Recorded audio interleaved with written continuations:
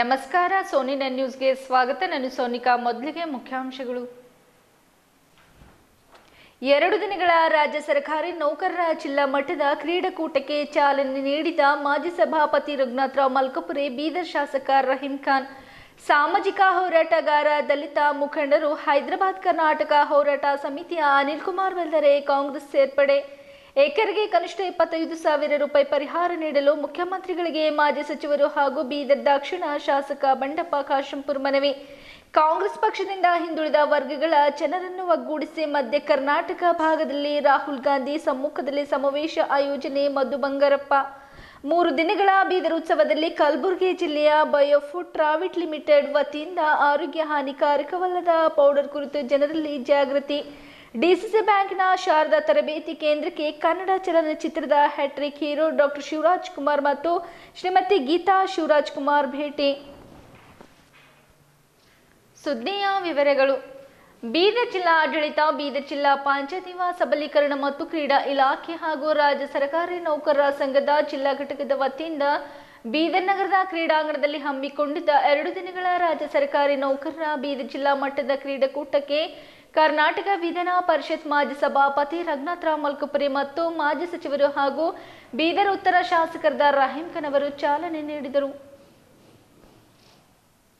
ಸರ್ಕಾರಿ ನೌಕರರು ಜೀವನದ ಒತ್ತಡದ ಮಧ್ಯೆಯೂ ನೌಕರರು ಕ್ರೀಡಾಕೂಟದಲ್ಲಿ ಭಾಗವಹಿಸಿದ್ದು ಸಂತಸ ತಂದಿದ್ದು ಮುಂದೆಯೂ ಬೀದರ್ ಜಿಲ್ಲಾ ಸರ್ಕಾರಿ ನೌಕರರ ಸಂಘಕ್ಕೆ ಬೇಕಾಗುವ ಎಲ್ಲ ಸಹಕಾರ ನೀಡುವುದಾಗಿ ಬೀದರ್ ಉತ್ತರ ಶಾಸಕರಾದ ರಹೀಂ ಖಾನ್ ಭರವಸೆ ನೀಡಿದರು. ಬುಧವಾರ ನಗರದಲ್ಲಿ ಜಿಲ್ಲಾ ನೆಹರು ಕ್ರೀಡಾಂಗಣದಲ್ಲಿ ಬೀದರ್ ಜಿಲ್ಲಾಡಳಿತ, ಜಿಲ್ಲಾ ಪಂಚಾಯತ್ ಯುವ ಸಬಲೀಕರಣ ಮತ್ತು ಕ್ರೀಡಾ ಇಲಾಖೆ, ಬೀದರ್ ಹಾಗೂ ಕರ್ನಾಟಕ ರಾಜ್ಯ ಸರ್ಕಾರಿ ನೌಕರರ ಸಂಘ ಇತ್ತೀಚೆಗೆ ಆಯೋಜಿಸಿದ್ದ ಬೀದರ್ ಉತ್ಸವ ಎಲ್ಲ ಜನಪ್ರತಿನಿಧಿಗಳು ಜಿಲ್ಲಾಡಳಿತ ಹಾಗೂ ಜನರ ಸಹಕಾರದಿಂದ ಯಶಸ್ವಿಯಾಗಿದೆ ಎಂದ ಅವರು. ಈಗಾಗಲೇ ಬೀದರ್ ನಗರದ ಅಭಿವೃದ್ಧಿಗೆ ಸುಮಾರು ನೂರು ಕೋಟಿ ರೂಪಾಯಿಗಳ ಅನುದಾನದಲ್ಲಿ ಕಾಮಗಾರಿಗಳಿಗೆ ಚಾಲನೆ ನೀಡಲಾಗಿದ್ದು, ಅವು ಪ್ರಗತಿಯಲ್ಲಿವೆ ಎಂದು ಹೇಳಿದರು.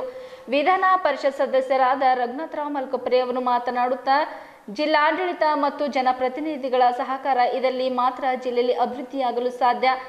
ರಾಜ್ಯ ಸರ್ಕಾರದ ನೌಕರನಾಗಿ ನಾನು ಕೂಡ ಸುಮಾರು ಹತ್ತು ವರ್ಷಗಳ ಕಾಲ ಸೇವೆ ಸಲ್ಲಿಸಿದ್ದು, ಸರ್ಕಾರಿ ನೌಕರರ ಜೀವನದ ಬಗ್ಗೆ ನನಗೂ ಅರಿವು ಇದೆ ಎಂದು ಹೇಳಿದರು. ಜಿಲ್ಲಾಧಿಕಾರಿಗಳಾದ ಗೋವಿಂದ ರೆಡ್ಡಿ ಅವರು ಮಾತನಾಡುತ್ತಾ ಇಂತಹ ಕ್ರೀಡಾಕೂಟಗಳು ಆಯೋಜನೆ ಮಾಡುವುದರಿಂದ ನೌಕರರ ದೈಹಿಕ ಸಾಮರ್ಥ್ಯ ವೃದ್ಧಿಗೆ ಹಾಗೂ ಇತರ ನೌಕರರೊಂದಿಗೆ ಸ್ನೇಹ ಇದೆ. ಸ್ನೇಹ ಸಂಬಂಧ ಹೆಚ್ಚಿಸಲು ಸಹಕಾರಿಯಾಗುವುದು ಎಂದು ಹೇಳಿದರು. ಇದೇ ವರ್ಷ ಮಾರ್ಚ್ನಲ್ಲಿ ರಾಜ್ಯ ಮಟ್ಟದ ಸರ್ಕಾರಿ ನೌಕರರ ಕ್ರೀಡಾಕೂಟ ನಡೆಯಲಿದ್ದು, ಈಗ ನಡೆಯುತ್ತಿರುವ ಕ್ರೀಡಾಕೂಟದಲ್ಲಿ ವಿಜೇತರಾದವರು ರಾಜ್ಯ ಮಟ್ಟದ ಕ್ರೀಡಾಂಗಣದಲ್ಲಿ ಭಾಗವಹಿಸಲಿದ್ದಾರೆ. ಹಾಗಾಗಿ ಎಲ್ಲರೂ ಕ್ರೀಡಾಕೂಟದಲ್ಲಿ ಹುಮ್ಮಸ್ಸಿನಿಂದ ಭಾಗವಹಿಸಿ ಹೆಚ್ಚಿನ ಪ್ರಶಸ್ತಿಗಳನ್ನು ಪಡೆದು ವಿಜೇತರಾಗುವ ಮೂಲಕ ಬೀದರ್ ಜಿಲ್ಲೆಯ ಕೀರ್ತಿಯನ್ನು ಹೆಚ್ಚಿಸಬೇಕು ಎಂದು ಅವರು ಕರೆ ನೀಡಿದರು. ಹೆಚ್ಚಿನ ನೌಕರರು ಭಾಗಿಯಾಗಿದ್ದು ಸಂತಸ ತಂದಿದೆ. ಎಲ್ಲರೂ ಕ್ರೀಡೆಯಲ್ಲಿ ಪಾರದರ್ಶಕತೆಯನ್ನು ಕಾಪಾಡಬೇಕು ಎಂದು ಹೇಳಿದರು.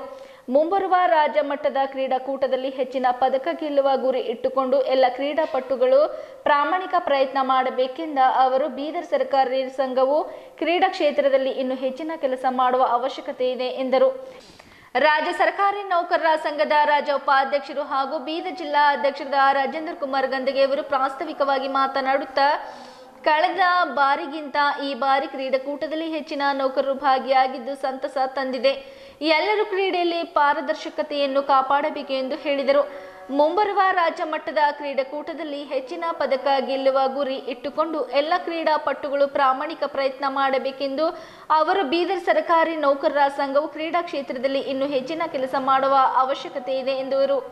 ಕಾರ್ಯಕ್ರಮದಲ್ಲಿ ಬೀದರ್ ಜಿಲ್ಲಾ ಪಂಚಾಯತ್ ಮುಖ್ಯ ಕಾರ್ಯನಿರ್ವಾಹಕ ಅಧಿಕಾರಿಗಳಾದ ಶಿಲ್ಪಾಯಂ ಬೀದರ್ ಜಿಲ್ಲಾ ಪೊಲೀಸ್ ವರಿಷ್ಠಾಧಿಕಾರಿಗಳಾದ ಡೆಕ್ಕಾ ಕಿಶೋರ್ ಬಾಬು, ರಾಜ್ಯ ಸರ್ಕಾರಿ ನೌಕರರ ಸಂಘದ ಎಲ್ಲ ಪದಾಧಿಕಾರಿಗಳು ಸೇರಿದಂತೆ ಬೀದರ್ ಜಿಲ್ಲೆಯ ವಿವಿಧ ತಾಲೂಕಿನ ಕ್ರೀಡಾಪಟುಗಳು ಹಾಗೂ ಸರ್ಕಾರಿ ನೌಕರರು ಮತ್ತು ಸಿಬ್ಬಂದಿಗಳು ಭಾಗವಹಿಸಿದರು ಕ್ರೀಡಾಕೂಟದ ಚಾಲನೆಗೂ ಮುನ್ನ ಕ್ರೀಡಾಪಟುಗಳಿಂದ ಪಥಸಂಚಲನ ನಡೆಯಿತು.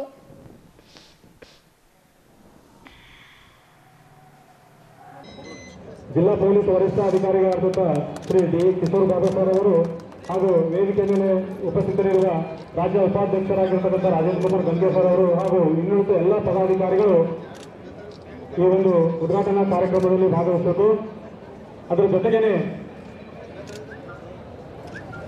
ನಂತರದ ಒಂದು ಕಾರ್ಯಕ್ರಮದಲ್ಲಿ ಈ ಒಂದು ಕ್ರೀಡಾ ಜ್ಯೋತಿಯನ್ನು ಸ್ವಾಗತಿಸಬೇಕಾಗಿ ಸನ್ಮಾನ್ಯ ಶ್ರೀ ವಿಧಾನ ಪರಿಷತ್ ಸದಸ್ಯರ ಕ್ರೀಡಾ ಜ್ಯೋತಿಯನ್ನು ಸ್ವಾಗತಿಸಿದ ಸನ್ಮಾನ ಎಲ್ಲ ಗಣ್ಯರಿಗೆ ಈಗ ನಂತರ ಬಾಬು ಸರ್ ಅವರು ಹಾಗೂ ಜಿಲ್ಲಾ ಪಂಚಾಯತ್ನ ಮುಖ್ಯ ಕಾರ್ಯನಿರ್ವಹಣಾಧಿಕಾರಿಗಳಾಗಿರ್ತಕ್ಕಂತಹ ಶ್ರೀಮತಿ ಶಿಲ್ಪಾ ಎಂ ಮೇಡಮ್ ಅವರು.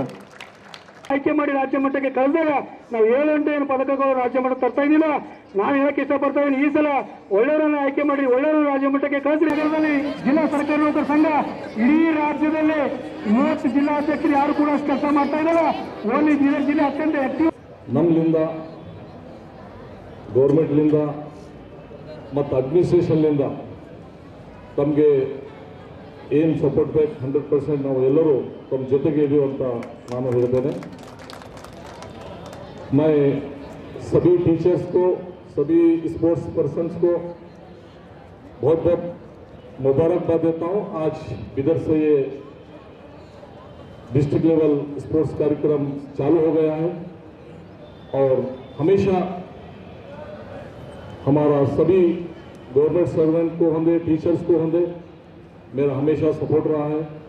क्योंकि मेरे पिताजी भी एक छोटे से पोस्ट पे गवर्नमेंट सर्वेंट थे। के में बहुत छोटे पोस्ट पे थे। एज ए लेबर उस टाइम एक लाइनमैन बोल के पोस्ट होता था। और वो पोस्ट कोई चार आदमी मिलके एक गड़ा खोदते थे पोल बिठाते थे और वायर खींचते थे। आज का लाइनमैन खाली शायद लाइट का कनेक्शन देता है, लेकिन मैं ऐसे धूप में जाके एक फिफ्टी पैसे के लिए एक घंटा ठहर के उनसे मांगते आता तो वो पोल के लिए गड़ा खोदते थे, चार आदमी मिलके। तो मुझे पता है गवर्नमेंट सर्वेंट की लाइफ किस तरह से होती है और कितनी ज़िम्मेदारी होती है गवर्नमेंट सर्वेंट के लोगों को। एक तो माँ बाप भाई बहन दोस्त और अपने बच्चों के लिए ಅಂದ್ರೆ ನಮ್ಮ ಭವಿಷ್ಯ ನಾವು ಯಾರು ನೋಡಿಲ್ಲ ಅದನ್ನ ನಮ್ಮ ಅತೀತವನ್ನು ಯಾರು ಮರಿಬಾರ್ದು ಎಷ್ಟು ಒತ್ತಡದಲ್ಲಿ ನೀವು ಜನರು ಕೆಲಸ ಮಾಡ್ತೀರಿ ಅನ್ನೋಂಥ ಪರಿಜ್ಞಾನ ನನಗಿದೆ ಮುನ್ನೂರ ಅರವತ್ತೈದು ದಿವಸಗಳು ನೀವು ಒತ್ತಡದಲ್ಲಿ ಕೆಲಸ ಮಾಡ್ತಿರೋ ಸಂದರ್ಭದಲ್ಲಿ ಇವತ್ತು ಜಿಲ್ಲಾಡಳಿತ ಮತ್ತು ಜಿಲ್ಲಾ ಪಂಚಾಯಿತಿ ಮತ್ತು ನೌಕರ ಸಂಘದ ಜಂಟಿ ಆಶ್ರಯದಲ್ಲಿ ಎರಡು ದಿವಸದ ಜಿಲ್ಲಾ ಮಟ್ಟದ ಕ್ರೀಡಾ ಸ್ಪರ್ಧೆಗಳನ್ನು ಇವತ್ತು ಆಯೋಜನೆ ಮಾಡೋದು ತುಂಬಾ ಸಂತೋಷ.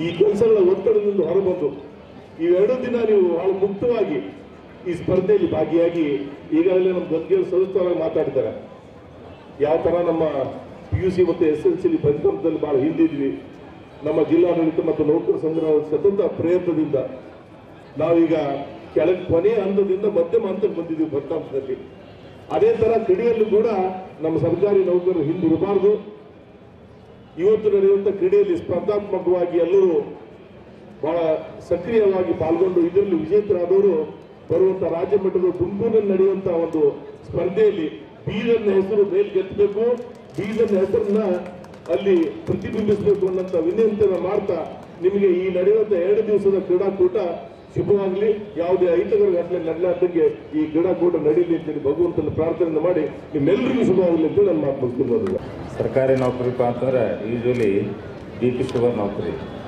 ಈ ಟೆನ್ಷನ್ನು ಸ್ಟ್ರೆಸ್ಸು ಈ ಒತ್ತಡದಲ್ಲಿ ಕೆಲಸ ಮಾಡೋದ್ರಿಂದ ಸರ್ಕಾರಿ ನೌಕರಿಗೆ ಯಾರೇ ನೂರು ಮಂದಿ ತೊಗೊಂಡ್ರೆ ಅದರಲ್ಲಿ ಅರವತ್ತು ಮಂದಿಗೆ ಬಿ ಪಿ ಶುಗರು ಕಂಪಲ್ಸರಿ ಬಂದೇ ಬರ್ತೈತಿ.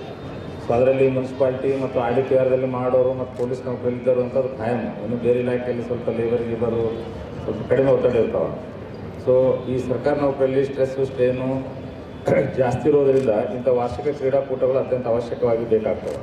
ಒಂದನೇದು, ನಮ್ಮ ನಮ್ಮ ನೌಕರೊಳಗೆ ಇನ್ಫಾರ್ಮಲ್ ರಿಲೇಷನ್ಸು ಅಥವಾ ದೋಸ್ತಿ, ಸ್ನೇಹ ಬೆಳೆಯೋಕೆ ಬೇಕಾಗ್ತೈತಿ. ಎರಡನೇದು, ನಮ್ಮ ರೆಗ್ಯುಲರ್ ಸರ್ಕಾರ ನೌಕರಿಯನ್ನು ಬಿಟ್ಟು ಕನಿಷ್ಠ ಎರಡು ದಿವಸ ಆದರೂ ಎಲ್ಲವನ್ನು ಮರೆತು ಈ ಕ್ರೀಡಾಕೂಟದಲ್ಲಿ ನಾವು ಪಾಲ್ಗೊಳ್ಳಿಕ್ಕೆ ಅನುಕೂಲ ಆಗ್ತೈತಿ. ಸೊ ಮತ್ತು ನಮ್ಮ ದೈಹಿಕ ಸಾಮರ್ಥ್ಯವನ್ನು ಕಾಪಾಡ್ಕೊಂಡು ಹೋಗಲಿಕ್ಕೆ ಈ ಕ್ರೀಡಾಕೂಟಗಳು ನಮಗೆ ತುಂಬ ಹೆಲ್ಪ್ ಆಗ್ತವೆ. ಹೀಗಾಗಿ ಸಾಧ್ಯವಿದ್ದಷ್ಟು ಎಲ್ಲ ಸರ್ಕಾರಿ ನೌಕರರು ಈ ಕ್ರೀಡಾಕೂಟದಲ್ಲಿ ಪಾಲ್ಗೊಂಡು ಸೊ ನಮ್ಮ ನಮ್ಮೊಳಗೆ ಸ್ನೇಹವನ್ನು ಜಾಸ್ತಿ ಮಾಡ್ಕೋಬೇಕು ಮತ್ತು ಸ್ಟ್ರೆಸ್ಸು, ಟೆನ್ಷನನ್ನು ಕಡಿಮೆ ಮಾಡ್ಕೊಳ್ಳೋದು ಅತ್ಯಂತ ಅವಶ್ಯಕತೆ ಇದೆ. ಸೊ ಈ ನಿಟ್ಟಿನಲ್ಲಿ ಕಳೆದ ವರ್ಷ ಸ್ವಲ್ಪ ಮೇ, ಮಾರ್ಚ್ದಲ್ಲಿ ಆಗಿತ್ತು. ಸೊ ಈ ವರ್ಷ ತುಮಕೂರು ತುಮಕೂರಲ್ಲಿ ರಾಜ್ಯ ಮಟ್ಟದ ಕ್ರೀಡಾಕೂಟ ಇದೆ. ಅದಕ್ಕೆ ನಮ್ಮ ಜಿಲ್ಲೆಯಿಂದ ಫಸ್ಟ್ ಪ್ರೈಸ್ ಬಂದವರು ಅಲ್ಲಿ ಹೋಗಿ ಪಾರ್ಟಿಸಿಪೇಟ್ ಆಗಲಿಕ್ಕೆ ಈ ಕ್ರೀಡಾಕೂಟ ಅತ್ಯಂತ ಅನಿವಾರ್ಯವಾಗಿ ಈಗ ನಾವು ಮಾಡಿಕೊಳ್ಳಲೇಬೇಕಾಗಿದೆ. ಇದು ತುಂಬ ಅದ್ಧೂರಿಯಾಗಿ ಮತ್ತು ಯಶಸ್ವಿಯಾಗಿ ನಡೀಲಿ ಅಂತೇಳಿ ನಾನು ಜಿಲ್ಲಾಡಳಿತ ವತಿಯಿಂದ ಆಶಿಸುತ್ತೇನೆ. ಇನ್ನು ಮುಂದುವರೆದು ಬೀದರಿಸೋಕ್ಕೆ ಎಲ್ಲ ಸರ್ಕಾರಿ ನೌಕರರು ತಾವು ತುಂಬ ಹೃದಯದ ಸಹಾಯ, ಸಹಕಾರವನ್ನು ನೀಡಿದ್ರಿ. ಅದಕ್ಕೆ ಜಿಲ್ಲಾಡಳಿತ ವತಿಯಿಂದ ತುಂಬ ಧನ್ಯವಾದಗಳು ಮತ್ತು ಅಭಿನಂದನೆಗಳನ್ನು ಅರ್ಪಿಸಿ.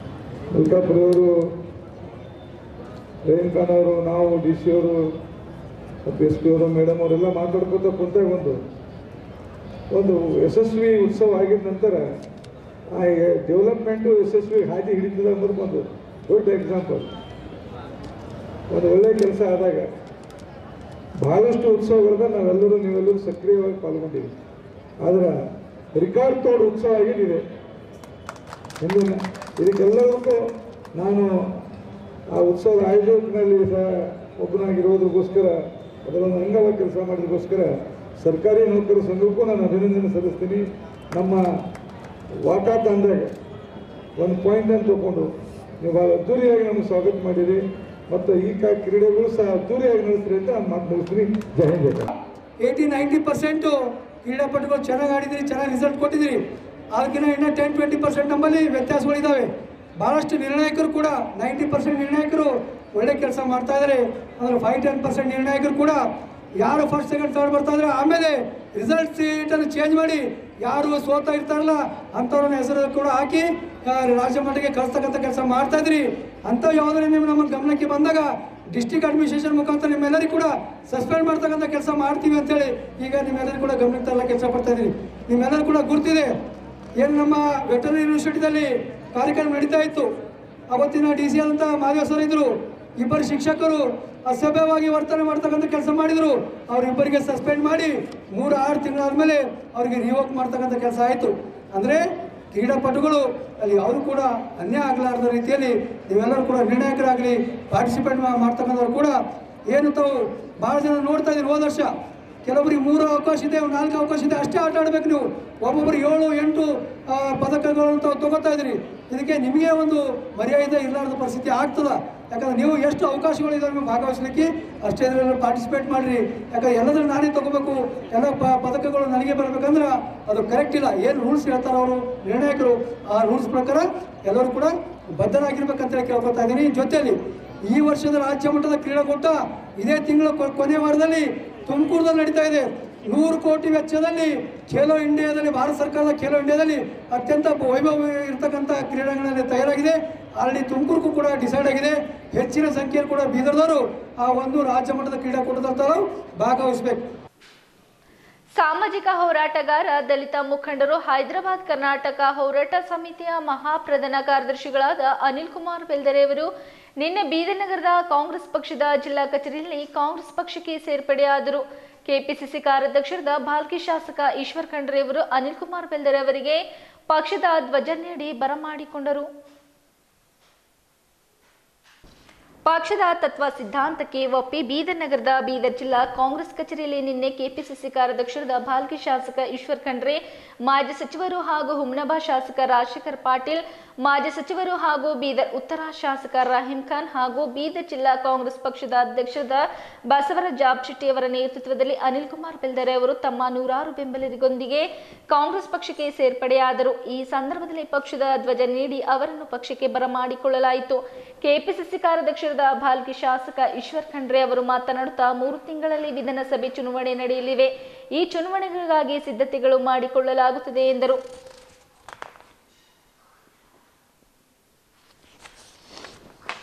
ಕಳೆದ ಎರಡು ವರ್ಷಗಳಿಂದ ಪಕ್ಷ ಸಂಘಟನೆಗಾಗಿ ಕಾಂಗ್ರೆಸ್ ರಾಷ್ಟ್ರೀಯ ನಾಯಕರಾದ ರಾಹುಲ್ ಗಾಂಧಿ ಸೋನಿಯಾ ಗಾಂಧಿ, ಮಲ್ಲಿಕಾರ್ಜುನ್ ಖರ್ಗೆ ಹಾಗೂ ರಾಜ್ಯ ನಾಯಕರಾದ ಡಿಕೆ ಶಿವಕುಮಾರ್, ಎಸ್ ಸಿದ್ದರಾಮಯ್ಯ ಅವರು ಸೇರಿದಂತೆ ಹಲವು ನಾಯಕರು ಹಗಲಿರುಳು ಶ್ರಮ ವಹಿಸುತ್ತಿದ್ದಾರೆ ಎಂದು ಹೇಳಿದರು. ಮಾಜಿ ಸಚಿವರು ಹಾಗೂ ಹುಮ್ನಬಾ ಶಾಸಕರಾದ ರಾಜಶೇಖರ್ ಪಾಟೀಲರು ಮಾತನಾಡುತ್ತಾ ಅನಿಲ್ ಕುಮಾರ್ ಬೆಲ್ದರೆ ಬೇರೆ ಪಕ್ಷದಲ್ಲಿದ್ದರೂ ಸಹ ಕಾಂಗ್ರೆಸ್ ಪಕ್ಷದ ನಾಯಕರ ಸಂಪರ್ಕದಲ್ಲಿದ್ದರು. ಪಕ್ಷದಲ್ಲಿ ಸೇರ್ಪಡೆಯಾಗಿ ಪಕ್ಷಕ್ಕೆ ಬಲ ತಂದಿದ್ದಾರೆ ಎಂದರು. ಮಾಜಿ ಸಚಿವರು ಹಾಗೂ ಬೀದರ್ ಉತ್ತರ ಶಾಸಕ ರಾಹಿಂ ಖಾನ್ ಅವರು ಮಾತನಾಡುತ್ತಾ ಅನಿಲ್ ಕುಮಾರ್ ಬೆಲ್ದರೆ ಅವರು ನೂರಾರು ತಮ್ಮ ಬೆಂಬಲಿಗರೊಂದಿಗೆ ಕಾಂಗ್ರೆಸ್ ಪಕ್ಷಕ್ಕೆ ಸೇರ್ಪಡೆಯಾಗಿರುವುದರಿಂದ ಪಕ್ಷಕ್ಕೆ ಬಲ ಹೆಚ್ಚಿಸಿದೆ ಎಂದು ಹೇಳಿದರು.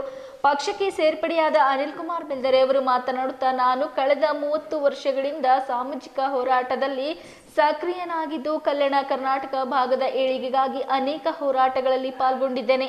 ಪ್ರಧಾನಮಂತ್ರಿ ನರೇಂದ್ರ ಮೋದಿ ಸರ್ಕಾರದಲ್ಲಿನ ನವದೆಹಲಿಯ ಜಂತರ ಮಂಥನ ಸುಟ್ಟು ಹಾಕಿದ್ದರು. ಇದನ್ನು ಖಂಡಿಸಿ ಜಿಲ್ಲಾದ್ಯಂತ ಹೋರಾಟ ಮಾಡಲಾಗಿದೆ. ಎಐಸಿಸಿ ಅಧ್ಯಕ್ಷರಾದ ಮಲ್ಲಿಕಾರ್ಜುನ್ ಖರ್ಗೆ ಅವರು ಸಂವಿಧಾನ ಉಳಿಸಲು ಎಲ್ಲ ದಲಿತರು ಒಂದಾಗಿ ಹೋರಾಟ ಮಾಡಬೇಕು ಎಂದು ಕರೆ ನೀಡಿದ ಹಿನ್ನೆಲೆಯಲ್ಲಿ ಕಾಂಗ್ರೆಸ್ ಪಕ್ಷಕ್ಕೆ ಸೇರ್ಪಡೆಯಾಗಿದ್ದೇನೆ ಎಂದರು. ಅಮೃತರಾವ್ ಚಿಂಕೋಡಿ ಅವರು ಮಾತನಾಡುತ್ತಾ, ಅನಿಲ್ ಕುಮಾರ್ ಬೆಲ್ದರೆ ಪಕ್ಷ, ಅನಿಲ್ ಕುಮಾರ್ ಬೆಲ್ದರೆ ಅವರು ತಮ್ಮ ಬೆಂಬಲಿಗರೊಂದಿಗೆ ಕಾಂಗ್ರೆಸ್ ಪಕ್ಷಕ್ಕೆ ಸೇರ್ಪಡೆಯಾಗಿದ್ದರಿಂದ ಪಕ್ಷದಲ್ಲಿ ಹೊಸ ಸಂಚಲನ ಬಂದಿದೆ ಎಂದರು. ಪಕ್ಷದ ಶೆಟ್ಟಿ, ಮಾಜಿ ಸಂಸದ ನರಸಿಂಹರಾವ್ ಸೂರ್ಯವಂಶಿ, ಮಾಜಿ ವಿಧಾನ ಪರಿಷತ್ ಸದಸ್ಯ ಕೆ ಪುಂಡ್ಲಿಕ್ರಾವ್ ಹಿರಿಯರಾದ ಬಸವರಾಜ್ ಗುಳ್ಳ,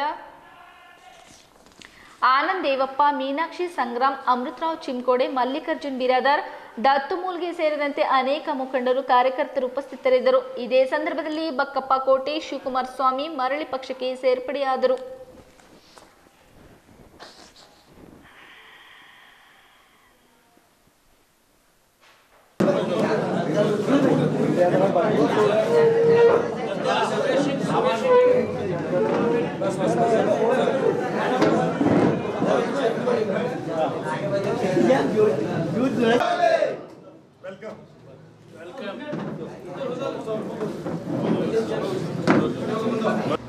ಮಾಜಿ ಜಿಲ್ಲಾ ಪಂಚಾಯಿತಿಯ ಸದಸ್ಯರಾದಂಥ ಶಿವಕುಮಾರ್ ಸ್ವಾಮಿಯವರು ಎರಡು ಸಾವಿರ ಹದಿಮೂರರಲ್ಲಿ ಇದನ್ನು ಇವತ್ತು ಹನ್ನೆರಡರಲ್ಲಿ ಜಾರಿಗೆ ಬಂತು, ಲೋಕಸಭೆಯಲ್ಲಿ ಪಾರಿತ ಆಯಿತು ಹದಿಮೂರರಿಂದ ಸಿದ್ದರಾಮಯ್ಯ ಸರ್ಕಾರ ಇದನ್ನು ಅನುಷ್ಠಾನ ಹೋರಾಟ ಮಾಡಿದೆ. ತ್ರೀ ಸೆವೆಂಟಿ ಒನ್ ಜೆ ಕೆಳಗಡೆ ಸಾವಿರಾರು ಜನರಿಗೆ ಉದ್ಯೋಗ ಕೊಟ್ಟಿದ್ದೇವೆ. ನೂರಾರು ಕೋಟಿ ರೂಪಾಯಿ ಹೆಚ್ಚುವರಿ ಅನುದಾನ ತಂದಿದ್ದೇವೆ. ಅಭಿವೃದ್ಧಿ ಮಾಡಿದ್ದೇವೆ. ಬೀದರ್ ರಿಂಗ್ ನೋಡ್ ರಿಂಗ್ ರೋಡ್ ನೋಡ್ರಿ ಮೂರು ತಿಂಗಳಲ್ಲಿ ರಾಜ್ಯದ ವಿಧಾನಸಭೆ ಚುನಾವಣೆ ನಡೀತದೆ. ನಾವೆಲ್ಲ ಈ ಚುನಾವಣೆಗೆ ಸಿದ್ಧತೆ ಮಾಡಿಕೊಳ್ತಾ ಇದ್ದೇವೆ. ನೀವೆಲ್ಲ ನೋಡ್ತಾ ಇದ್ದೀರಿ, ಕಾಂಗ್ರೆಸ್ ಪಕ್ಷ ಸುಮಾರು ಎರಡು ವರ್ಷದಿಂದ ನಿರಂತರವಾಗಿ ಇವತ್ತು ಸಂಘಟನೆ ಬಲಶಾಲಿ ಆಗಬೇಕು, ತಳಮಟ್ಟದಲ್ಲಿ ಬೇರು ಮಟ್ಟದಲ್ಲಿ ಬಲವರ್ಧನೆ ಮಾಡಬೇಕು ಅಂತೇಳಿ ಹೇಳಿ ಶ್ರೀಮತಿ ಸೋನಿಯಾ ಗಾಂಧಿಯವರು, ರಾಹುಲ್ ಗಾಂಧಿಯವರು, ಮಲ್ಲಿಕಾರ್ಜುನ್ ಖರ್ಗೆಜಿಯವರು, ಇಲ್ಲಿ ಡಿ ಕೆ ಶಿವಕುಮಾರ್ ಅವರು, ಸಿದ್ದರಾಮಯ್ಯಜಿಯವರು, ಮುನಿಯಪ್ಪ ಅವರು, ರೆಹಮಾನ್ ಖಾನ್ ಇನ್ನಿತರ ಅನೇಕ ಎಲ್ಲ ಮುಖಂಡರು ನಾವೆಲ್ಲರೂ ಸೇರಿ ಜಿಲ್ಲಾ ಮಟ್ಟದಲ್ಲಿ ಇವತ್ತು ರಾಜ್ಯ ಮಟ್ಟದಲ್ಲಿ, ರಾಷ್ಟ್ರ ಮಟ್ಟದಲ್ಲಿ ನಿರಂತರವಾಗಿ ಸುರ್ಜೇವಾಲ ಅವರು ಇರ್ಬೋದು, ವೇಣುಗೋಪಾಲ್ ಅವರು ಇರ್ಬೋದು, ಮತ್ತೆ ಎಷ್ಟೊಂದು ಕಾರ್ಯಕ್ರಮ ಕೊಟ್ಟಿದ್ದೇವೆ. ಪಾಪ ಅವ್ರು ಬೇರೆ ಪಕ್ಷದಾಗಿದ್ರು ಕೂಡ ನಮ್ಮ ಜೊತೆ ನೇರವಾಗಿ ಅವ್ರ ಸಂಪರ್ಕ ಇತ್ತು ಯಾಕಂದ್ರೆ ಪಕ್ಷ ಬೇರೆ ಇರ್ಬೋದು. ಆ ಸಮಯದಲ್ಲಿ ಕೂಡ ಏನು ನಮ್ಮ ಕಾರ್ಯಗಳಿರ್ಲಿ ಇವತ್ತು ನಮ್ಮ ನಾಯಕರು ಬಂದಂತ ಸಮಯದಲ್ಲಿ ಇರ್ಲಿ, ಎಲ್ಲ ಇದರಲ್ಲಿ ಸಹಕಾರ ಮಾಡ್ತಕ್ಕಂಥ ಅನೇಕ ಜನರು ಇದ್ದರು. ಆದ್ರೆ ಇವತ್ತು ವಿಶೇಷವಾಗಿ ನಮ್ಮ ಕಾಂಗ್ರೆಸ್ ಪಕ್ಷಕ್ಕೆ ಸೇರ್ಪಡೆಯಾಗಿದ್ದಾರೆ ನನ್ನ ಪರವಾಗಿ ಕಾಂಗ್ರೆಸ್ ಕಮಿಟಿ ಪರವಾಗಿ ಅವ್ರಿಗೆ ನಾನು ಸ್ವಾಗತವನ್ನು ಕೊಡ್ತೀನಿ ಅವರು ಸೇರಿ ಒಂದು ಕಾಂಗ್ರೆಸ್ ಪಕ್ಷ ಈಗಾಗಲೇ ಬೀದರ್ ಜಿಲ್ಲೆಯಲ್ಲಿ ಅನೇಕ ಇದರಲ್ಲಿ ಬಹಳ ಒಳ್ಳೆ ರೀತಿಯಿಂದ ಕಾರ್ಯಗಳು ಮಾಡ್ತಾ ಇದೆ. ಅದ್ರ ಜೊತೆಯಲ್ಲಿ ಸ್ವಾಮಿ, ಯಾಕಂದ್ರೆ ಇವರು ನಮ್ಮ ಪಕ್ಷದಲ್ಲೇ ಇದ್ದವರು. ಈ ಅನಿವಾರ್ಯ ಜಿಲ್ಲಾ ಪಂಚಾಯತ್ ಇದರಲ್ಲಿ ಬೇರೆ ಬೇರೆ ಕಾರಣಾಂತರದಿಂದ ಅವರು ಕೂಡ ಬೇರೆ ಪಕ್ಷಕ್ಕೆ ಹೋಗಿದ್ರು.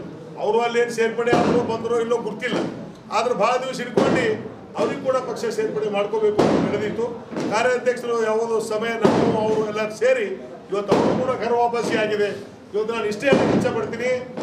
ಇವತ್ತು ರಾಜ್ಯ ಮಟ್ಟದಲ್ಲಿ ರಾಷ್ಟ್ರ ಮಟ್ಟದಲ್ಲಿ ಇವತ್ತು ನಾವೆಲ್ಲ ನೋಡ್ತಾ ಇದ್ದೀವಿ ಪಕ್ಷ ಸಂಘಟನೆ ಬಹಳ ದೊಡ್ಡ ಜವಾಬ್ದಾರಿ ಇದೆ ಇವತ್ತು ಜಿಲ್ಲಾಧ್ಯಕ್ಷರಿದ್ದಾರ ಕಾರ್ಯಾಧ್ಯಕ್ಷರಿದ್ದಾರ ಕಾರ್ಯದರ್ಶಿಗಳಿದ್ದಾರ ಇವತ್ತು ನಾವು ಯಾವ ರೀತಿಯಲ್ಲಿ ಪ್ರ- और अनिल अनिल सर और शिव कुमार शिव कुमार स्वामी जी ये सभी हमारे पार्टी के लिए बहुत ही इम्पोर्टेंट है क्योंकि हर एक जना एक एक सिद्धांत पे बहुत ही एक्सपीरियंस लोग हैं और हमारे बीदर डिस्ट्रिक्ट में सभी जगह पूरे डिस्ट्रिक्ट में उनका एक सम्मान एक रेस्पेक्ट है और ग्राउंड लेवल है तो ये आज हमारे पार्टी में ज्वाइन हुए इसलिए मैं उनको बहुत बहुत धन्यवाद बोलता हूँ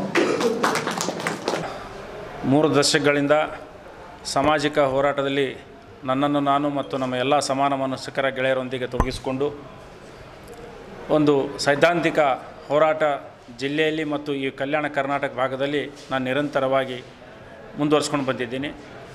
ಈ ಮಧ್ಯದಲ್ಲಿ ಸಂವಿಧಾನಕ್ಕೆ ಕೇಂದ್ರ ಸರ್ಕಾರ ಮತ್ತು ಇನ್ನಿತರ ಶಕ್ತಿಗಳು ಸಂವಿಧಾನದ ಆಶಯ ಬುಡಮೇಲು ಮಾಡಲಿಕ್ಕೆ ಏನು ಷಡ್ಯಂತ್ರ ಮಾಡಿ ದಿಲ್ಲಿಯ ಜಂತರ್ ಮಂತರದಲ್ಲಿ ಹಾಡೇ ಹಗಲ ಸಂವಿಧಾನದ ಪ್ರತಿ ಸುಟ್ಟರು ಅದನ್ನು ಬಹಳ ಗಂಭೀರವಾಗಿ ಬೀದರ್ ಜಿಲ್ಲೆಯಲ್ಲಿ ಎಲ್ಲ ನಮ್ಮ ಸಮಾನ ಮನಸ್ಕರ ಇವತ್ತು ನಮ್ಮ ಅಮೃತರಾವ್ ಚಿಮ್ಕೋಡವರು ಅಬ್ದುಲ್ ಮನ್ನಾರ್ ಅವರು, ಬಸವರಾಜ್ ಮಾಳ್ಗೆ ಅವರು, ನಾವು ಹಾಗೂ ಇನ್ನಿತರ ದಲಿತ ಸಂಘಟನೆ ಪದಾಧಿಕಾರಿಗಳು ಇರ್ಬೋದು, ಗುಂಡ ಸಂಘರ್ಷ ಸಮಿತಿಗಳು ಇರ್ಬೋದು, ಕ್ರೈಸ್ತರು, ಮುಸಲ್ಮಾನರು, ಹೀಗೆ ಪ್ರತಿಯೊಬ್ಬರಿಗೆ ಗೊತ್ತಾಯಿತು ಸಂವಿಧಾನ ಅದಂದ್ರೆ ನಾವು ಇರ್ತೀವಿ ಈ ದೇಶದಲ್ಲಿ ಇವತ್ತು ನಾನು ತಮ್ಮ ಮಾಧ್ಯಮದ ಮುಖಾಂತರ ನಾನು ಇವತ್ತು ಕಾಂಗ್ರೆಸ್ ಪಕ್ಷಕ್ಕೆ ಸೇರಬೇಕಾದ್ರೆ, ಇವತ್ತು ನಮ್ಮ ರಾಷ್ಟ್ರದಲ್ಲಿ ಇವತ್ತು ಖರ್ಗೆ ಸಾಹೇಬರು ಎಂದು ರಾಷ್ಟ್ರದ ಚುಕ್ಕಾಣಿ ಹಿಡಿದ್ರು, ಆಗತ್ತು ಅವ್ರ ಮೊದಲನೇ ಭಾಷಣ ನೋಡ್ರಿ ಇವತ್ತು ನಾವು ಸಂವಿಧಾನ ಉಳಿಸ್ಲಾಕ್ಬೇಕ, ಆಗಬೇಕಂತ ಫಸ್ಟ್ ಅವ್ರ ವರ್ಡ್ ಅದು. ಅದು ಪ್ರಾರಂಭ ಆಗಿದ್ದು ನಮ್ಮ ಬೀದರ್ ಜಿಲ್ಲೆಯಿಂದ ತಮಗೆಲ್ಲರಿಗೂ ಗೊತ್ತಿದೆ. ಹಾಗಾಗಿ ನಾನಿಂದು ಕಾಂಗ್ರೆಸ್ ಪಕ್ಷಕ್ಕೆ ಅಧಿಕೃತವಾಗಿ ಇವತ್ತು ನಾನು ಸೇರ್ಪಡೆಗೊಂಡಿದ್ದೇನೆ. ಆದರೆ ಬೆಲ್ದಾರ್ ಅವರು ಟೀಮಿನ ಜೊತೆಯಲ್ಲಿ ಸಂವಿಧಾನ ಸಂರಕ್ಷಣಾ ಸಮಿತಿಯೊಳಗೆ ಕೂಡ್ತಿದ್ದೆವು F R Abdul Mannan Shet, F R Anil Beldar, F R Amrit Chimkod, F R Anand Devappa ಕೂಡ್ತಿದ್ದೆವು ಖರೆ ಸ್ವಲ್ಪ ಆ ಕಡೆ ಕಡಿತಲ್ಲ ಈಗೊತ್ತು ಬರೋಬ್ಬರಿ ಸಂವಿಧಾನ ಮತ್ತು ಕಾಂಗ್ರೆಸ್ ಪಕ್ಷದಲ್ಲಿ ಸೇರಿಸಿ ಎಲ್ಲ ಎಗಳು ತಗೊಂಡು ಬಿ ತಗೊಂಡು ಸಿ ತಗೊಂಡು ಜಡ್ತನ. ಪೂರ್ತಿ ಸಂಘಟನೆ ಮಾಡಲು ಭಾಳ ದೊಡ್ಡ ಶಕ್ತಿ ಕೊಟ್ಟಿರ್ತಕ್ಕಂಥ ಸೂತ್ರ ಆಗ್ತಾ ಇದೆ. ನಗದರ ಜೊತೆಯಲ್ಲಿ ಅಂತರಾತ್ಮವಾಗಿ ನಾವು ಒಂದು ರಿಕ್ವೆಸ್ಟ್ ಮಾಡ್ತೀನಿ, ಯಾರಿಗೆ ಟಿಕೆಟ್ ಬರ್ತಾವೋ, ಆರು ಜನ ಬೀದರ್ನಲ್ಲಿ ಅದರಾಗ ವಿಶೇಷ ಈಶ್ವರ್ ಖಂಡೆ ಅವ್ರದ್ದು ನಾನು ಮುಖಸ್ತುತಿಯರ ಮಾಡಲ್ಲ ಅವ್ರಿಗೆ ಎದುರಿಗೆ ಹಚ್ಚಿ ಮಾತಾಡ್ತೆ. ಹಿಂಗೆ ಊಟ ಮಾಡಪ್ಪರಿ ಪರಿ ನಾಲ್ಕೂವರೆಗೆ ಫ್ಲೈಟ್ ಅದಂದ್ರೆ ಸವಾಚಾರಕ ದೋಷ ತಿಂತ ತಿಂತ ಅರ್ಧ ದೋಷ ಬಿಟ್ಟು ಓಡ್ತಕ್ಕಂಥ ಕೆಲಸ ಕರ್ಮಯೋಗಿ ಈಶ್ವರ ಖಂಡ್ರೆ ನೆಟ್ಟ ರೋಗದಿಂದ ತೊಗರಿ ಬೇಳೆ ಕಳೆದುಕೊಂಡಿರುವ ಕಲ್ಯಾಣ ಕರ್ನಾಟಕ ಭಾಗದ ರೈತರಿಗೆ ಎಕರೆಗೆ ಕನಿಷ್ಠ ಇಪ್ಪತ್ತೈದು ಸಾವಿರ ರೂಪಾಯಿ ಪರಿಹಾರವನ್ನು ಕೂಡಲೇ ನೀಡಬೇಕೆಂದು ಮಾಜಿ ಸಚಿವರು ಜೆಡಿಎಸ್ ಶಾಸಕಾಂಗ ಪಕ್ಷದ ಉಪನಾಯಕರು, ಜೆಡಿಎಸ್ ಕೋರ ಕಮಿಟಿಯ ಅಧ್ಯಕ್ಷರು, ಮಾಜಿ ಸಚಿವರಾದ ಬಂಡಪ್ಪ ಕಾಶಂಪುರವರು, ಮುಖ್ಯಮಂತ್ರಿ ಬಸವರಾಜ ಬೊಮ್ಮಾಯಿ ಅವರಿಗೆ ಮನವಿ ಮಾಡಿದರು. ಬೀದರ್ ಉತ್ಸವದ ಸಮಾರೋಪ ಸಮಾರಂಭದಲ್ಲಿ ಪಾಲ್ಗೊಳ್ಳಲು ನಿನ್ನೆ ಸಂಜೆ ಬೀದರ್ ಕೋಟೆಗೆ ಆಗಮಿಸಿದ ಮುಖ್ಯಮಂತ್ರಿ ಬಸವರಾಜ ಬೊಮ್ಮಾಯಿ ಅವರಿಗೆ ಮಾಜಿ ಸಚಿವರು ಹಾಗೂ ಬೀದರ್ ದಕ್ಷಿಣ ಶಾಸಕ ಬಂಡಪ್ಪ ಕಾಶಿಪುರವರು ಉತ್ಸವ ವೇದಿಕೆಯಲ್ಲಿಯೇ ಮನವಿ ಪತ್ರ ಸಲ್ಲಿಸಿ ನೆಟ್ಟ ರೋಗದಿಂದ ಸಂಕಷ್ಟಕ್ಕೆ ಸಿಲುಕಿದ ತೊಗರಿ ಬೆಳೆಗಾರ ರೈತರ ಸಂಕಷ್ಟಕ್ಕೆ ನೆರವಾಗಿ ಎಂದು ಕೋರಿದರು. ಕಲ್ಯಾಣ ಕರ್ನಾಟಕ ಭಾಗದಲ್ಲಿ ತೊಗರಿ ವಾಣಿಜ್ಯ ಬೆಳೆ ಆಗಿದ್ದು, ಬೀದರ್ ಕಲಬುರಗಿ, ಯಾದಗಿರಿ ಸೇರಿದಂತೆ ಈ ಭಾಗದಲ್ಲಿ ಹೆಚ್ಚಿನ ಪ್ರಮಾಣದಲ್ಲಿ ಬಿತ್ತನೆ ಮಾಡಲಾಗುತ್ತದೆ. ಈ ವರ್ಷ ಈ ವರ್ಷ ನೆಟ್ಟ ರೋಗದ ಹಾವಳಿಯಿಂದ ಬಿತ್ತನೆ ಮಾಡಲಾಗಿರುವ ತೊಗರಿ ಬೆಳೆ ಸಂಪೂರ್ಣ ಹಾಳಾಗಿದೆ. ಇದರಿಂದಾಗಿ ಲಕ್ಷಾಂತರ ರೂಪಾಯಿ ಖರ್ಚು ಮಾಡಿ ತೊಗರಿ ಬಿತ್ತನೆ ಮಾಡಿರುವ ರೈತರು ಸಂಕಷ್ಟಕ್ಕೆ ಸಿಲುಕಿದ್ದಾರೆ. ಈ ವಿಷಯವನ್ನು ನಾನು ಬೆಳಗಾವಿಯಲ್ಲಿ ನಡೆದ ಚಳಿಗಾಲದ ಅಧಿವೇಶನದಲ್ಲಿ ಕೂಡ ಪ್ರಸ್ತಾಪ ಮಾಡಿದ್ದೇನೆ. ತೊಗರಿ ಬಿತ್ತನೆ ಮಾಡಿ ಕೈ ಸುಟ್ಟುಕೊಂಡಿರುವ ಕಲ್ಯಾಣ ಕರ್ನಾಟಕ ಭಾಗದ ರೈತ, ಸಂಕಷ್ಟಕ್ಕೆ ಸರ್ಕಾರ ಕೂಡಲೇ ಸ್ಪಂದಿಸುವ ಅಗತ್ಯ ಇದೆ. ದಯಾಳುಗಳಾದ ತಾವು ಪ್ರತಿ ಎಕರೆಗೆ ಇಪ್ಪತ್ತೈದು ಸಾವಿರ ರೂಪಾಯಿ ಪರಿಹಾರವನ್ನು ಕೂಡಲೇ ಒದಗಿಸಿಕೊಡಬೇಕು. ಆದಷ್ಟು ಬೇಗ ನೆಟ್ಟ ರೋಗದಿಂದ ತೊಗರಿ ಬೆಳೆ ಕಳೆದುಕೊಂಡಿರುವ ರೈತರ ಕಣ್ಣೀರು ಒರೆಸುವ ಕೆಲಸ ತಮ್ಮದಾಗಬೇಕು ಎಂದು ಬರೆದಿರುವ ಮನವಿ ಪತ್ರವನ್ನು ಶಾಸಕ ಬಂಡಪ್ಪ ಕಾಶಪ್ಪರವರು ಮುಖ್ಯಮಂತ್ರಿ ಬಸವರಾಜ ಬೊಮ್ಮಯ್ಯವರಿಗೆ ಸಲ್ಲಿಸಿ ಮನವಿಯನ್ನು ಗಂಭೀರವಾಗಿ ತೆಗೆದುಕೊಳ್ಳುವಂತೆ ವಿನಂತಿಸಿದರು.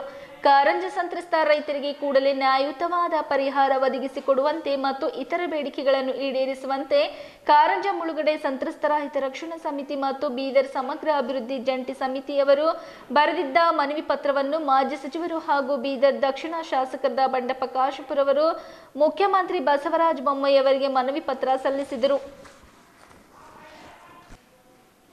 ಬೀದರ್ ನಗರದ ಕಾಂಗ್ರೆಸ್ ಪಕ್ಷದ ಜಿಲ್ಲಾ ಕಚೇರಿ ಸಭಾಂಗಣದಲ್ಲಿ ಕರೆದ ಸುದ್ದಿಗೋಷ್ಠಿಯಲ್ಲಿ ಮಾತನಾಡಿದ ಕಾಂಗ್ರೆಸ್ ಒಬಿಸಿ ಮೋರ್ಚಾ ರಾಜ್ಯಾಧ್ಯಕ್ಷರಾದ ಮಧು ಬಂಗಾರಪ್ಪ ಅವರು ಹಿಂದುಳಿದ ವರ್ಗಗಳ ಜನರ ಆಶಾಕಿರಣವಾಗಿರುವುದು ಮಾತ್ರ ಕಾಂಗ್ರೆಸ್ ಪಕ್ಷವಾಗಿದ್ದು ಮುಂಬರುವ ವಿಧಾನಸಭೆ ಚುನಾವಣೆಗೂ ಮುನ್ನ ಈ ವರ್ಗಗಳ ಜನರನ್ನು ಒಗ್ಗೂಡಿಸಿ ಮಧ್ಯ ಕರ್ನಾಟಕ ಭಾಗದಲ್ಲಿ ಎಐಸಿಸಿ ಮಾಜಿ ಅಧ್ಯಕ್ಷರಾದ ರಾಹುಲ್ ಗಾಂಧಿಯವರ ಸಮ್ಮುಖದಲ್ಲಿ ರಾಜ್ಯ ಮಟ್ಟದ ಸಮಾವೇಶ ನಡೆಸಲು ಉದ್ದೇಶಿಸಲಾಗಿದೆ ಎಂದು ಹೇಳಿದರು. ಬೀದನಗರದಲ್ಲಿ ಕರೆದ ಸುದ್ದಿಗೋಷ್ಠಿಯಲ್ಲಿ ಮಾತನಾಡಿದ ಕಾಂಗ್ರೆಸ್ ಒಬಿಸಿ ಮೋರ್ಚಾ ರಾಜ್ಯಾಧ್ಯಕ್ಷರಾದ ಮಧು ಬಂಗಾರಪ್ಪ ಅವರು, ಪರಂಪರಾಗತವಾಗಿ ಕಾಂಗ್ರೆಸ್ ಪಕ್ಷಕ್ಕೆ ಹಿಂದುಳಿದ ವರ್ಗಗಳ ಒಬಿಸಿ ಮತದಾರರ ಒಲವಿದೆ. ಇತ್ತೀಚೆಗೆ ಒಬಿಸಿ ನಾಯಕರು ವಿವಿಧ ಪಕ್ಷಗಳೊಂದಿಗೆ ಗುರುತಿಸಿಕೊಂಡಿದ್ದು, ಬೇರೆ ಬೇರೆ ಪಕ್ಷಗಳಲ್ಲಿ ಸೇರ್ಪಡೆ ಆಗಿರುವುದರಿಂದ ಕೆಲ ಪ್ರಮಾಣದ ಮತದಾರರು ಹಂಚಿ ಹೋಗಿದ್ದಾರೆ ಅವರನ್ನೆಲ್ಲ ಒಂದು ಕಡೆ ಸೇರಿಸುವ ಪ್ರಯತ್ನ ನಮ್ಮದಾಗಿದೆ ಎಂದು ಹೇಳಿದರು. ಒಟ್ಟು ಮತದಾರರ ಪೈಕಿ ಶೇಕಡ ಐವತ್ತೈದರಷ್ಟು ಒಬಿಸಿ ಮತದಾರರು ಇದ್ದಾರೆ. ಇವರನ್ನೆಲ್ಲ ಮತ್ತೆ ಕಾಂಗ್ರೆಸ್ ಪಕ್ಷದ ಬೆಂಬಲಕ್ಕೆ ಸೇರಿಸಲು ಆರಂಭದಲ್ಲಿ ಜಿಲ್ಲಾ ಮಟ್ಟದಲ್ಲಿ ಒಬಿಸಿ ಸಮಾವೇಶಗಳು ನಡೆಸಲಾಗುವುದು. ನಂತರ ಎಐಸಿಸಿ ಅಧ್ಯಕ್ಷರಾದ ಮಲ್ಲಿಕಾರ್ಜುನ್ ಖರ್ಗೆ ಅವರು ಸೇರಿದಂತೆ ಪಕ್ಷದ ಹಿರಿಯ ಮುಖಂಡರ ನೇತೃತ್ವದಲ್ಲಿ ಬರುವ ಫೆಬ್ರವರಿ ಅಂತ್ಯದೊಳಗಾಗಿ ರಾಜ್ಯ ಸಮಾವೇಶ ಆಯೋಜಿಸಲು ತೀರ್ಮಾನಿಸಲಾಗಿದೆ ಎಂದು ಹೇಳಿದರು. ಆಡಳಿತಾರೂಢ ಬಿಜೆಪಿ ರಾಜ್ಯ ಸರ್ಕಾರದಲ್ಲಿ ಭ್ರಷ್ಟಾಚಾರ ತಾಂಡವಾಡುತ್ತದೆ. ಸ್ಯಾಂಟ್ರೋ ರವಿ ಪ್ರಕರಣದಲ್ಲಿ ಬಿಜೆಪಿ ಸಂಪೂರ್ಣವಾಗಿರುವುದು ಸರ್ಕಾರದ ವರ್ತನೆಯಿಂದ ಸ್ಪಷ್ಟವಾಗುತ್ತದೆ. ಸ್ಯಾಂಟ್ರೋ ರವಿಯನ್ನು ಬಂಧಿಸಿ ಅಕ್ರಮದಲ್ಲಿ ತೊಡಗಿರುವವರನ್ನೆಲ್ಲ ಕಂಬಿ ಎಣಿಸುವಂತೆ ಮಾಡಬೇಕು ಎಂದು ಆಗ್ರಹಿಸಿದರು. ಪತ್ರಿಕೆಗೋಷ್ಠಿಯಲ್ಲಿ ಕಾಂಗ್ರೆಸ್ ಪಕ್ಷದ ಬೀದರ್ ಜಿಲ್ಲಾ ಅಧ್ಯಕ್ಷರಾದ ಬಸವರಾಜ ಶೆಟ್ಟಿ, ವಿಧಾನ ಪರಿಷತ್ ಮಾಜಿ ಸದಸ್ಯರಾದ ವಿಜಯ್ ಸಿಂಗ್ ಪಕ್ಷದ ಮುಖಂಡ ಚಂದ್ರ ಸಿಂಗ್, ಪಕ್ಷದ ಒಬಿಸಿ ಮೋರ್ಚಾ ಬೀದರ್ ಜಿಲ್ಲಾ ಅಧ್ಯಕ್ಷರಾದ ಶಂಕರ್ ರೆಡ್ಡಿ ಚಿಟ್ಟ, ರಾಜ್ಯ ಉಪಾಧ್ಯಕ್ಷರಾದ ಎಸ್ ಡಿ ವಾಗ್ಮಾರೆ, ಪಕ್ಷದ ಪ್ರಧಾನ ಕಾರ್ಯದರ್ಶಿ ಎಂಎ ಶಮಿ ಅವರು ಸೇರಿದಂತೆ ಇತರರು ಇದ್ದರು. ಆದರೆ ನನಗನ್ಸುತ್ತೆ ಇತ್ತೀಚಿನ ದಿನಗಳಲ್ಲಿ ನಾವು ಕೂಡ ಒಪ್ಕೊಳ್ಬೇಕಾಗ್ತದೆ. ಯಾವಾಗ ಮಂಡಲ್ ಪಂಚಾಯಿತಿ ಇದೆಲ್ಲ ಬಂದಾಗ ಇದೇನಾಗ್ತದೆ, ನಮ್ಮ ಪಕ್ಷದೊಳಗೆ ಒಬ್ಬ ಅಭ್ಯರ್ಥಿ ಇರ್ತಾರೆ, ನಮ್ಮ ಪಕ್ಷದೊಳಗೆ ಸಿಗಲಿಲ್ಲ ಅಂತ ಹೇಳಿದಾಗ ಬೇರೆ ಪಕ್ಷದಲ್ಲಿ ಹೋಗೋದು, ಅದು ಬಿ ಜೆ ಪಿಗೆ ಹೋದಾಗ ಅಲ್ಲಿ ನಾಯಕತ್ವ ಹಿಂದುಳಿದ ವರ್ಗದ ಬೆಳೆಯೋದು, ಇದೆಲ್ಲ ಆಗಿ ಪಾರಂಪರಿಕವಾಗಿ ಹಿಂದೂ ವರ್ಗದವರು ಸ್ವಲ್ಪ, ಅಲ್ಪ ಸ್ವಲ್ಪ ಅಲ್ಲೂ ಹೋಗಿದ್ದಾರೆ ಅಂತ ಹೇಳಿದರೆ ತಪ್ಪಾಗಲಾರ್ದು. ಮತ್ತು ಇವತ್ತಿನ ಒಂದು ರಾಜಕೀಯ ವ್ಯವಸ್ಥೆಯಲ್ಲಿ ಇದು ಎಲ್ಲೋ ಒಂದು ರೀತಿಯಲ್ಲಿ ಕಾಂಗ್ರೆಸ್ ಪಕ್ಷದ ಪಾರಂಪರಿಕವಾಗಿ ಪಾರಂಪರಿಕವಾಗಿ ಮತದಾರರು ಅಂತ ಹೇಳಲ್ಲ, ಕಾಂಗ್ರೆಸ್ ಪಕ್ಷನೂ ಕೂಡ ಯಾವುದೇ ಕಾರ್ಯಕ್ರಮ ಕೊಟ್ರೇನು ಬಡವರಿಗೆ ಯಾರಿಗೆ ಒಲಿಬೇಕು ಅದನ್ನು? ಅದನ್ನು ಮಾಡ್ಕೊಂಡು ಬಂದಿದ್ದಾರೆ. ನೀವು ಆಶ್ರಯ ಮನೆಗಳನ್ನು ತಗೊಳ್ಳಿ. ಬಂಗಾರಪ್ಪಾಜಿಯವ್ರು ಕೊಟ್ಟಿರ್ತಕ್ಕಂಥ ಕಾರ್ಯಕ್ರಮ, ಈ ಭೂ ಹಕ್ಕನ್ನು ಕೊಟ್ಟಿರೋದು ಸನ್ಮಾನ್ಯ ದೇವರಾಜ ಅರಸು ಅವರು. ಅದಾದಮೇಲೆ ಬಂಗಾರಪ್ಪಾಜಿಯವರು ಐವತ್ತು ಐವತ್ತ್ಮೂರು ಬಗರ್ ಹುಕ್ಕಂ ಇದನ್ನು ಕೊಟ್ಟಿರ್ತಕ್ಕಂಥದ್ದು. ಆಶ್ರಯ ಮನೆಗಳು, ಆರಾಧನಾ ಮನೆಗಳು, ಹೊಟ್ಟೆಗೆ ಅನ್ನ ಕೊಟ್ಟಿರ್ತಕ್ಕಂಥ ಮಾನ್ಯ ಸಿದ್ಧರಾಮಯ್ಯ ಅವರು ತಗೊಳ್ಳಿ. ಈ ಥರ ಕಾರ್ಯಕ್ರಮಗಳನ್ನು ಬೇಕಾದಷ್ಟು ಹೇಳ್ಬೋದು. ಆದರೆ ಇವತ್ತು ಕೂಡ ಏನು ಅನ್ನದಾತರು ರೈತರಿದ್ದಾರೆ, ಇವತ್ತು ಹೊಲಕ್ಕೆ ಹೋಗಿ ಕೆಲಸ ಮಾಡ್ತಾರಂತ ಹೇಳಿದರೆ ಇವತ್ತು ರಾಜ್ಯದಲ್ಲಿ ಇಡೀ ದೇಶದಲ್ಲೂ ಕೂಡ ಕೆಲವು ಕಡೆ ಕಾರ್ಯಕ್ರಮ ಇದೆ. ಮೊದಲೇ ಮುಖ್ಯಮಂತ್ರಿ ಬಂಗಾರಪ್ಪಜಿಯವರು ಪುಕ್ಷಟ್ಟೆ ಕರೆಂಟನ್ನು ರೈತರಿಗೆ ಹತ್ತು ಎಚ್ ಪಿ ಅವ್ರಿಗೂ ಕೊಟ್ಟಿರ್ತಕ್ಕಂಥ ಇವತ್ತು ಕೂಡ ನಾನು ಏನಾದ್ರು ಹೋಗ್ಬೇಕಾದ್ರೆ ಯಾರು ರೈತರು ಸಿಕ್ಕರೆ, ಸರ್, ನಿಮ್ಮ ಅಪ್ಪವರಿಂದ ಇವತ್ತು ನಾವು ಅನ್ನ ಬೆಳಿತೀವಿ, ಸರ್, ಅನ್ನ ಹೊಟ್ಟೆಗೆ ಅನ್ನ ತಿಂದು ಅಂದರೆ ಆ ಕಾರ್ಯಕ್ರಮಗಳು ಹೆಂಗಿದ್ವು ಅಂದರೆ ಯಾರಿಗೆ ಸಹಕಾರ ಆಗಬೇಕು ಯಾವಾಗಲೂ ಕೂಡ ಕಾಂಗ್ರೆಸ್ ಪಕ್ಷ ಅಂಥದ್ದು ಕೊಡ್ತದೆ. ಆದರೆ ಇವತ್ತಿನ ರಾಜಕಾರಣದ ವ್ಯವಸ್ಥೆಯಲ್ಲಿ ಹೆಂಗಾಗಿದೆ ಅಂತ ಹೇಳಿದರೆ, ಇವತ್ತು ಹೊಟ್ಟೆಗೆ ತಿನ್ನೋದು ಬಿ ಜೆ ಪಿಯವರಿಂದ ಹಿಂದುತ್ವ ಜಾತಿ, ಧರ್ಮ, ಯಾರು ಒಂದು ಪಕ್ಷದ ಅಧ್ಯಕ್ಷರಾಗಿ ಇವತ್ತು ರಾಜ್ಯದಲ್ಲಿ ಅಧಿಕಾರದಲ್ಲಿದ್ದಾರೆ. ಯಾವ ರೀತಿ ಅಧಿಕಾರಕ್ಕೆ ಬಂದಿದ್ದಾರೆ ಅಂದರೆ ಅವರೇನು ಜನರ ಒಂದು ಸಹಕಾರದ ಮೇಲೆ ಬಂದಿಲ್ಲ. ಕಟೀಲ್ ಅವ್ರ ಬಗ್ಗೆ ನಾನು ಹೇಳೋದು. ಅವರೆಲ್ಲ ವ್ಯಾವಹಾರಿಕವಾಗಿ ಮಾಡಿರೋದು. ಅವ್ರು ಏನಂತ ಹೇಳಿದರು? ನೀವೆಲ್ಲ ಇದನ್ನು ಮಾತಾಡೋಕ್ಕೆ ಹೋಗ್ಬೇಡ್ರಿ. ನೀವು ಏನು ಧರ್ಮದ ಬಗ್ಗೆ ಮಾತಾಡ್ರಿ ಜಿಹಾದ್ ಬಗ್ಗೆ ಮಾತಾಡ್ರಿ. ಇದು ಬಡವರಿಗೆ ಹೊಟ್ಟೆ ತುಂಬುತ್ತಾ ಇದು?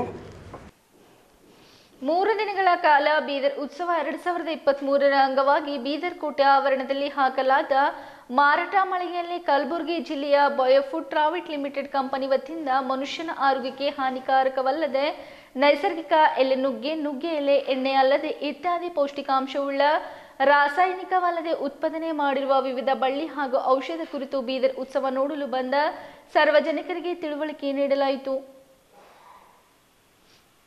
ಬಯೋ ಪ್ರಾವಿಟ್ ಲಿಮಿಟೆಡ್ ಕಂಪನಿಯ ಅಂಕಿತ್ ಕಾಡದಿ ಕಲಬುರಗಿಯವರು ಮಾತನಾಡುತ್ತಾ, ನುಗ್ಗೆ ಎಲೆ, ದಾಸಳ ಹೂ, ಪೌಡರ್, ನುಗ್ಗೆ ಎಲೆ, ಎಣ್ಣೆ ಇತ್ಯಾದಿ ನೈಸರ್ಗಿಕ ಎಲೆಗಳ ಔಷಧಿ ತಯಾರಿಸಿ ಮನುಷ್ಯರ ಮನುಷ್ಯರ ಆರೋಗ್ಯಕ್ಕೆ ಚೆನ್ನಾಗಿ ಇಡುವಂತೆ ಮಾಡುವ ಉತ್ಪಾದನೆಯನ್ನು ನಮ್ಮ ಕಂಪನಿ ಮಾಡುತ್ತದೆ ಎಂದರು. ನುಗ್ಗೆ ಎಲೆ ಪೌಡರ್ನಿಂದ ಸುಮಾರು ಮುನ್ನೂರ ತೊಂಬತ್ತು ಮಾನವನ ಕಾಯಿಲೆಗಳು ಗುಣಪಡಿಸಬಹುದು. ನಮ್ಮ ಕಂಪನಿಯ ಉತ್ಪಾದನೆಗಳು W W dot bio food dot ಅಥವಾ ಅಮೆಝಾನ್ನಿಂದಲೂ ತರಿಸಿಕೊಳ್ಳಬಹುದು ಎಂದು ಹೇಳಿದರು. ಈ ಸಂದರ್ಭದಲ್ಲಿ ಬಯೋ ಫುಡ್ ಲಿಮಿಟೆಡ್ ಕಂಪನಿಯ ಕಲಬುರಗಿಯ ಸಿಬ್ಬಂದಿಗಳು ಇದ್ದರು.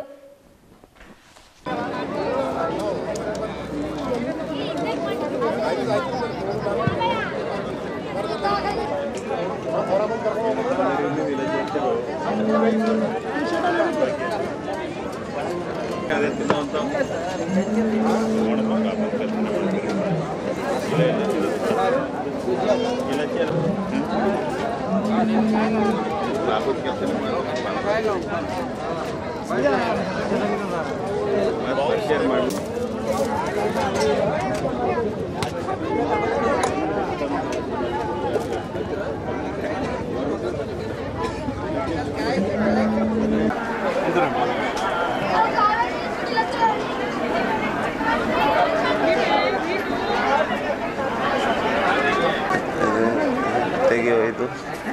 ತೆಗಿ ಎಲ್ಲ ಕಪ್ಸ್ ಗಿಪ್ಸ್ ಅವು